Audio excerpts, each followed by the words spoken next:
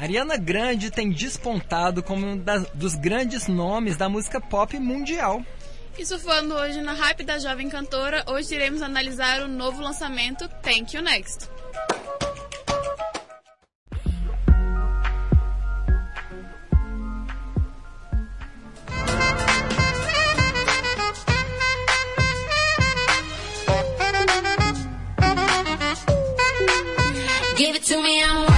Maravilhosa Ariana Grande.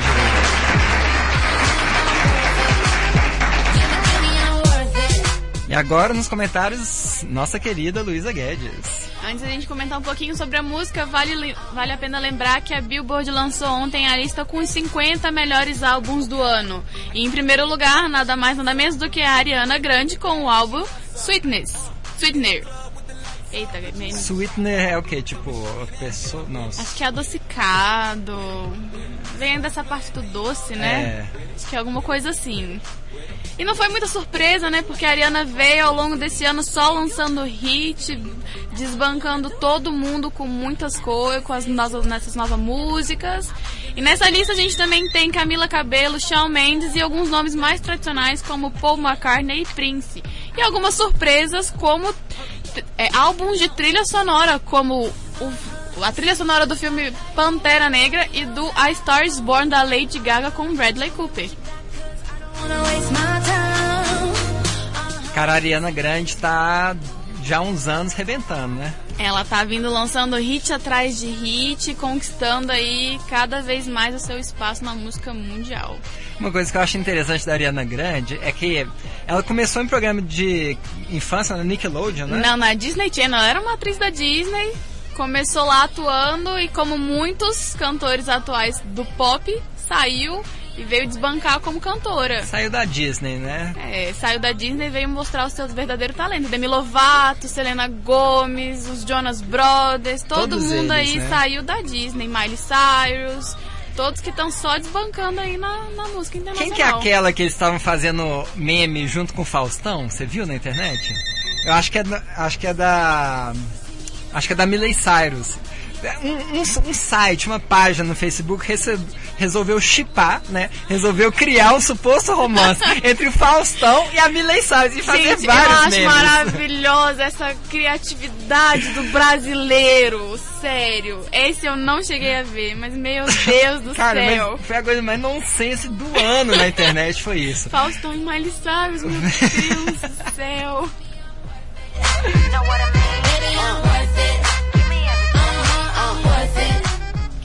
Falar agora um pouquinho sobre essa música Thank You Next que foi lançada recentemente. Que tem como um tema principal essa solteirice nova da Ariana Grande. Ela acabou de terminar o noivado dela com o Pete, o, o comediante Pete Davidson. E aí ela fala um pouco também sobre essa trajetória dela de namorados, o que, que ela aprendeu, o que, que ela não aprendeu.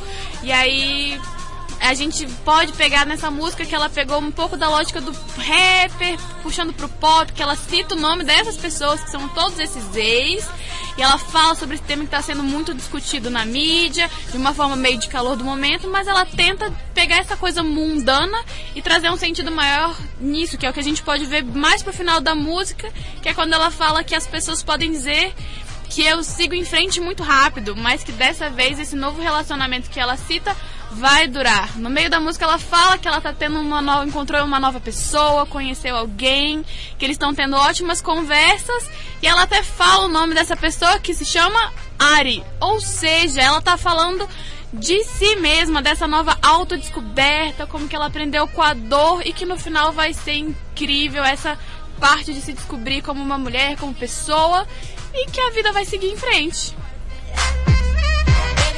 Fantástico, né? Olha, finalmente uma, uma letra construtiva, né? Que a gente traz aqui pro nosso quadro é, O Que Que Eu Ovo. Né, só para deixar claro isso, né, que a Luísa trouxe, vou ler a tradução, que inclusive wrote some, é, some songs about Rick. Aí a tradução escreveu algumas coisas sobre Rick Álvares. Cadê o Álvares, né? Pois é, faltou, hein? Acho que alguém errou um pouquinho. Acho que eles colocaram o sobrenome pra o fã identificar como o antigo relacionamento dela. pra gente poder ter uma base. Olha, então diz assim: eu pensei que ficaria para sempre com o Sean, né? O Sean. É, mas nós não combinávamos. Escrevi algumas músicas para o Rick. Agora eu as escuto e rio. Eu quase me casei é, com o Pete Davidson. So, e a ele sou muito grata. O Pete Davidson é um comediante. Comediante, que foi o ex-noivo, O né? ex-noivo. Gostaria de poder dizer é, obrigada ao Malcolm, porque ele era um anjo. O Malcolm é o rapper Mac Miller que faleceu agora em setembro e ela sofreu muito com a perda desse ela ex-namorado. estava namorando? Não, eles já tinham Ah. terminado, ela já estava com o Pete, só que ela sofreu muito com a morte do Malcolm. Aí depois ela começa a refletir sobre todos os relacionamentos. Um me ensinou sobre amor, um me ensinou sobre paciência e um me ensinou sobre dor. Agora eu estou tão bem. Dizem que eu amei e perdi, mas não é assim que eu vejo. Então olha o que eu tenho. Olha o que vocês me ensinaram. E é por isso que eu digo, obrigada, próximo. Essa Obrigada, parte que ela fala, obrigada, que cada um ensinou a paciência, ensinou a dor, me lembra um pouco dessa nova fase do sertanejo que você falou na semana passada. Essa coisa do relacionamento, como ele é bom, como ele ensina.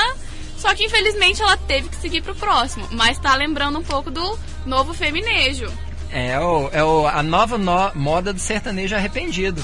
A gente falou semana passada que o sertanejo tá deixando de ser da balada e agora voltando a ser uma coisa mais relacionamento sério, monogâmico, romântica. romântica, arrependido de tudo que Ele fez na tá balada. pegando, voltando muito pras raízes do country. Porque o country continua ainda sendo, tendo como temática muito o romance, o relacionamento. Mas você já ouviu Hank Williams? Hank Williams é um country junkie. É, tem umas exceções aí na história, mas vamos focar em Tim McGraw, Faith Hill, que estão sempre ali falando sobre relacionamentos que são o rei e rainha do, do country. Maravilha, maravilha. Eu queria dizer pra MTV que vocês não têm chance aqui. Luísa Guedes é da Paraíso FM, rapaz. Parabéns, viu, pelas informações que você trouxe. E último comentário aqui sobre Ariana Grande é que ela tem essa cara de criança até hoje, né? Ela tem. Ela tem o quê? 25, 26 anos Ela hoje? tem 26 anos. 26 idade. Minha idade, olha só. E a fama. Tem 26 anos, né? É igual eu fico zoando Maiara Maraíza, né? Tem minha idade, mas a fama já. A fama foi e a gente ficou aqui É, atrás. é. O público dela era um público muito adolescente, né? Inclusive aquelas meninas usavam as orelhinhas da Ariana Grande, né? Sim, aquele rabo clássico dela, porque ela saiu da Disney ainda com esse público da Disney. Sim. E aos pouquinhos ela tem conquistado um público um pouco mais velho, as baladas, a gente vê que a batida da música já é pra poder pegar essa parte da noite, então E uma coisa que eu acho é, interessante e salutar também é porque antes ela continuava com esse visual infantil, com público infantil, mas as letras não eram nada infantil. Você pega a tradução de Bang, Nossa, é pesadíssimo, entendeu? De Bang é pesadíssima. Mas assim, se a gente Pesadíssimo. parar pra analisar com quem que ela fez a música, né? Ela tá ali com Jessie J E e com Nicki Minaj, que já são mulheres que usam letras muito mais calientes. calientes. Muito bom, muito bom termo, muito bom termo. Um- Uma coisa legal de comentar também sobre Thank You Nash, uma forma dela conseguir atrair pessoas mais velhas pra esse novo lado de Ariana Grande é porque o videoclipe dela fez muitas referências a filmes dos anos 90, que foi Legalmente Loira, é, Meninas Malvadas e De Repente 30. O clipe, o videoclipe oficial da música já foi o mais visto em 24 horas, desbancando Psy com Gangnam Style. E aí tá ali só batendo e batendo mais recordes. Ele atualmente tem pouco mais de 156 milhões de visualizações em pouco mais de 4 dias. Então, Ariana Grande só quebrando recordes. Mas ainda está longe da nossa rainha Marília Menor.